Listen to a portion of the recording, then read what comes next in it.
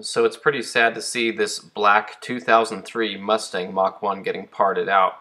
I don't understand why they would part out a car like this that looks complete. It doesn't look like it has any accidents. The side skirts do look like they're a little bit off, but maybe it ran over something and the whole underside got wrinkled or something. I don't know, but they're selling all the specific parts like the C-pillars and glass and you know the engine and transmission, so that shows that they're working. And so it's just really interesting to see a complete Mustang that is being parted out for no good reason. Now, there are reasons that people part cars out like this that are complete. Perhaps the rust on the underside is so bad that you can see the floor through them. You know, maybe the uh, torque boxes are completely rusted out. I believe this car was in New York, so that's a definite possibility uh, but it did look like a pretty nice car. Sometimes people park cars out because they don't have the title to them and the bank's going to take them and so they figure they'll just sell everything off of it and get their money, maybe even pay back the loan, but they get the money that they owe and uh, some people just want to part it out and keep the money and then let the bank come take what's left of it. So I'm not making accusations here, but there are these types of situations that happen. Sometimes people are about to lose the car. Sometimes they have a friend who's going to lose the car, so they'll part it out for them and get to keep some of the money.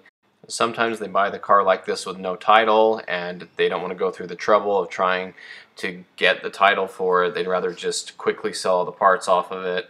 Um, but you have to consider that with all that they had listed, it added up to be about seven grand. I would say a Mach 1 is definitely worth that. Uh, it didn't say, oh, it did say the mileage was about 100,000 on it, so that's still relatively low.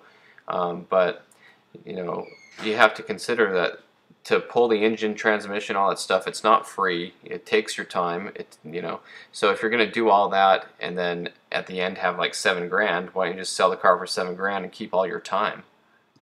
So not sure exactly why, but to me it's sad to see such an iconic car like this black Mach 1 Mustang being completely parted out with a running drivetrain and no real reason to it. Now, they didn't even say in the ad, you know, this is wrong with it, this is wrong with it. So, uh, just really too bad to see, but we'll document this car. Looking inside the window, you can see the large headrests. We will assume it's an interior upgrade package car, which makes it one of 1,367 black 03s with that option. And as well, it has a 5-speed because that's what they have in the listing, and that would make it one of 1,797 black 03 Mach 1s with the 5-speed out of a total of 2250 black Mach 1s for 2003. The car did look pretty stock other than that.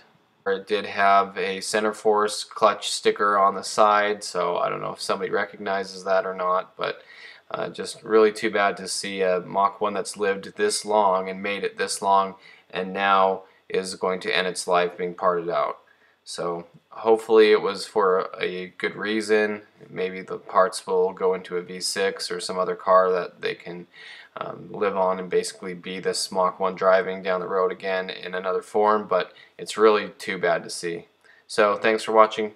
Hope you enjoyed this video, although it is a little bit sad.